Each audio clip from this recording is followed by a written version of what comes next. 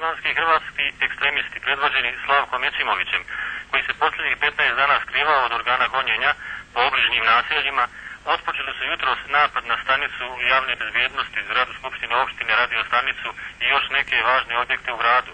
Napad je počeo sinhronizovano sa više mjesta, ali su za kratko vrijeme pripadnici srpske vojske i milicije uspjeli da okruže napadače. E, ovom prilikom oglasio se i krizni štab iz Prijedora. On poziva sav srpski narod sa područja opštine Prijedora da se stavi na raspolaganje e, vojske Srpske republike Bosne i Hercegovine i milicije u odbrani grada od paravojnih formacija.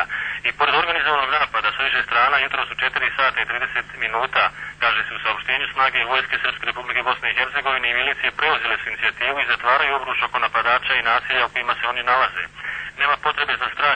Nema a od građana koji su vojali Srpskoj republici Bosni i Hercegovini traži se da na svoje kuće na vidno mjesto isteknu bijele zastave. Obavještavaju se građani Prijedra jutro su uhvaćen Slavko Jecimović, organizator napada na Prijedra, koji je otkrio plan napada na kasarnu Žarka Zgonja i zgradu opštine, stanicu milicije, radio stanicu Prijedra i još neke važne odjeve.